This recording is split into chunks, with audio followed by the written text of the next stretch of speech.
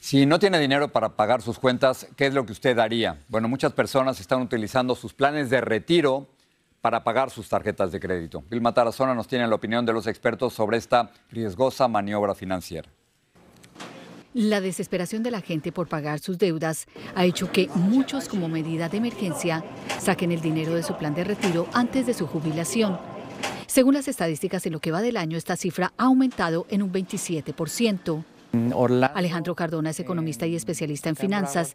Dice que gastar el retiro antes de tiempo es peligroso. El retiro que tú terminas de trabajar, por decir algo, 65, 67 años, te retiras y empiezas a recibir, con esa no se debería de jugar sino que es como el retiro como tal, lo que tú ya paras de trabajar y vas a recibir. Cardona recuerda que si usted saca su dinero del retiro antes de los 59 años y medio, le cobrarán una multa de 10% más impuestos.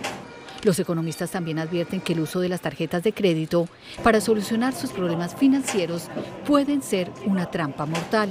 Las consecuencias es de tu crédito y tu crédito cuando tú dejas de pagar esas tarjetas de crédito no solo debes a esa tarjeta de crédito, pero después compañías como las que te quieren dar para prestar para un carro, para tu casa, para diferentes cosas, van a ver tu mal récord y no te van a querer prestar. Peter Díaz dice que no tiene otra opción que usar sus tarjetas. Lo tengo que usar, pero están, los intereses están muy altos, sigue subiendo. Todo lo que estaba como a 18, 19%, ahora está a 23, hasta 30% ahora. ¿Cómo haces tú para manejar eso? Pago lo que puedo.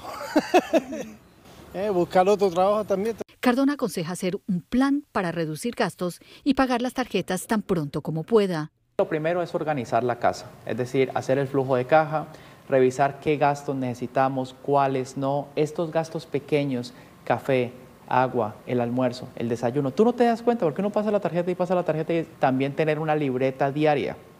Yo te invito a que hagas el ejercicio. Apunta todos los días cuánto dinero estás gastando. Los expertos dicen que en teoría usted no debería gastar más del 60% de lo que se gana para poder tener una economía saludable.